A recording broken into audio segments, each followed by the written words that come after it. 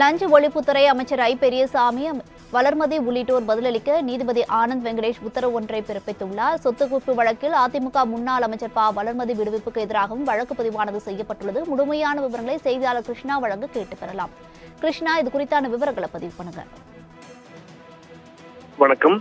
தமிழ்நாடு வீட்டு வசதி வாரிய வீடு ஒதுக்கீடு முறைகேடு வழக்கிலிருந்து அமைச்சர் ஐ. பெரியசாமி விடுவிக்கப்பட்டது மற்றும் சொத்து குவிப்பு வழக்கில் அதிமுக முன்னாள் அமைச்சர் வளர்மதி விடு- விடுவிக்கப்பட்டதற்கு எதிராக தாமாக முன்வந்து விசாரணைக்கு எடுத்த வழக்குகளில் பதிலளிக்கும்படி லஞ்ச ஒழிப்புத்துறை மற்றும் அமைச்சர் ஐ. பெரியசாமி முன்னாள் அமைச்சர் வளர்மதி உள்ளிட்டோருக்கு சென்னை உயர்நீதிமன்றம் இன்று உத்தரவிட்டிருக்கிறது.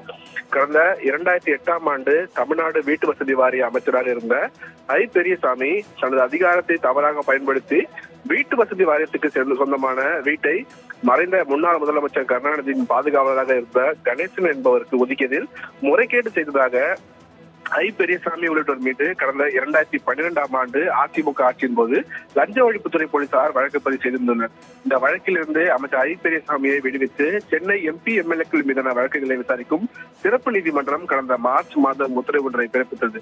இந்த உத்தரவை மறு ஆய்வு செய்யும் வகையில் சென்னை உயர்நீதிமன்ற நீதிபதி ஆனந்த் வெங்கடேஷ் தாமாக முன்வந்து இந்த வழக்கை விசாரணைக்காக எடுத்திருக்கிறார்.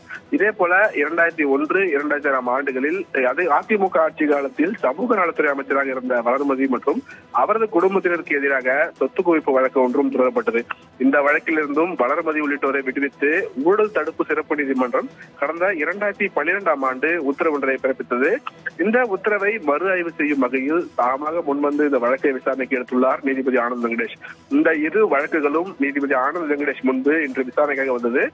அப்போது லஞ்ச ஒழிப்புத்துறையின் நடைமுறை மோசமாக உள்ளது எனவும் ஒவ்வொரு வழக்கிலும் இதே நடைமுறைகள் பின்பற்றப்படுவது அதிர்ச்சி அளிக்கும் வகையில் உள்ளதாகவும் நீதிபதி தெரிவித்திருக்கிறார். முன்னாள் அமைச்சர் வளர்மதிக்கு எதிரான வழக்கில் நூற்றுக்கும் மேற்பட்ட சாட்சிகளை விசாரித்து ஏராளமான ஆவணங்களை ஆய்வு செய்து குற்றப்பத்திரிகை தாக்கல் செய்த நிலையில் குற்றம் சாட்டப்பட்டவர் மேல் விசாரணை கோரி தாக்கல் செய்த மனு அடிப்படையில் விசாரணை நடத்திய அதே புலன் விசாரணை அதிகாரி வழக்கை முடித்து வைக்க கோரி இருக்கிறார் என்பது அதிர்ச்சி அளிப்பதாக நீதிபதி தெரிவித்திருக்கிறார். மேலும் இந்த வழக்குகளை எதிர்கொள்ள யாரும் விரும்பவில்லை என கூறிய நீதிபதி அமைச்சர் ஐ. பெரியசாமி எதிரான வழக்கை பொறுத்தவரை விடுவிக்க கோரிய மனுவும் வழக்கை ரத்து செய்ய கோரிய மனுவும் நீதிமன்றத்தால் தள்ளுபடி செய்யப்பட்டுள்ளது என்றும் இருப்பினும் வழக்கு தொடர அனுமதி வழங்கிய விவகாரத்தின் அடிப்படையில் சிறப்பு நீதிமன்றம் அவரை விடுவித்திருப்பதும் குறிப்பிட்டிருக்கிறார்.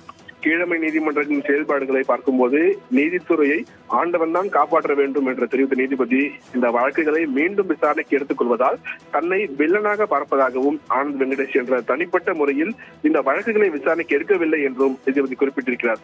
பின்னர் இரண்டு வழக்குகளிலும் லஞ்ச ஒழிப்புத்துறை மற்றும் அமைச்சர் ஐ பெரியசாமி உள்ளிட்டோர் பதிலளிக்க உத்தரவிட்டு வழக்கின் விசாரணையை அக்டோபர் பன்னிரெண்டாம் தேதிக்கு தள்ளி வைத்து நீதிபதி உத்தரவிட்டிருக்கிறார். வருண்யா.